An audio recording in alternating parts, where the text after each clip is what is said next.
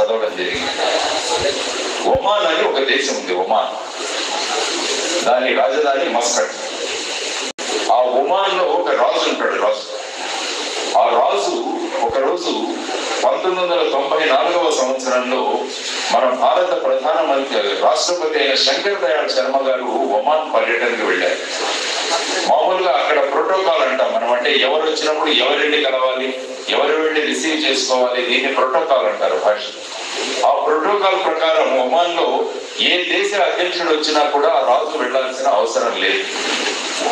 కాబట్టి శంకర్ దయాళ్ శర్మ గారు అక్కడ ఎయిర్పోర్ట్లో దిగారు. దిగగానే ఆ రాష్ట్రానికి ఆ రాజ్యానికి చెందిన రాజు ఆ ఎయిర్పోర్ట్కి వెళతాడు ఆయన. అంటే ప్రోటోకాల్ వాడు చెప్పినా కూడా ఆయన వెళతాడు. వెళ్ళి మామూలుగా ఎయిర్ క్రాఫ్ట్ ఆగిన తర్వాత దానికి నిచ్చెన వేస్తారు మెట్లు ఆ మెట్లు ఎక్కుకుంటూ ఆయన వెళ్ళాడు పైకి వెళ్ళి డోర్ తీసి శంకర్ దయాళ శర్మ గారి కోసం నిలబడ్డాడు. శంకర్ దయాళ శర్మ గారు వచ్చి ఆశ్చర్యపోయారు. ఒమాన్లో రాజ్య అధ్యక్షుడు కానీ రాజు రావాల్సిన అవసరం లేదు కానీ ఈయన వచ్చాడు. వచ్చి శంకర్ దయాళ శర్మ గారిని కింద మెట్ల వరకు తీసుకుని వెళ్ళాడు. తీసుకుని వెళ్ళి అక్కడ ఒక పెద్ద కారు ఉంటుంది ఆ కారులో శంకర్ దయాళ శర్మ గారు కూర్చున్న తర్వాత ఈయన ఆ డ్రైవర్ని అడిగారు నువ్వు వేరే కారులో రా నేను డ్రైవింగ్ చేసుకుంటూ ఆయన తీసుకువెళ్తాను. అని చెప్పేసి ఆ డ్రైవింగ్ చేసుకుంటూ ఆ రాజు శంకర్ శర్మ గారిని వాళ్ళ విడిది భవనం వరకు ఆయన విడిచి నమస్కారం చెప్పేసరికి శంకర్ శర్మ గారు ఆశ్చర్యపోయారు. ఎందుకంటే ఎవరైనా దేశాధ్యక్షుడు ఇంకో దేశానికి వెళుతున్నప్పుడు అక్కడ ప్రోటోకాల్ అని చదువుకొని వెళ్తారు. మీ ప్రోటోకాల్లో ఈ విధంగా ఉంది.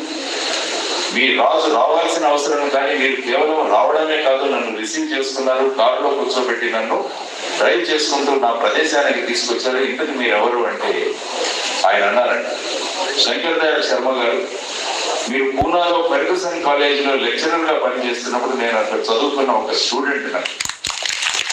నేను ఒక విద్యార్థిగా అక్కడ చదివాను. నాకు చదువు చెప్పిన గురువు వస్తున్నారు అంటే నేను నేను దేశాధ్యక్షుడిని అని నేను మర్చిపోతాను.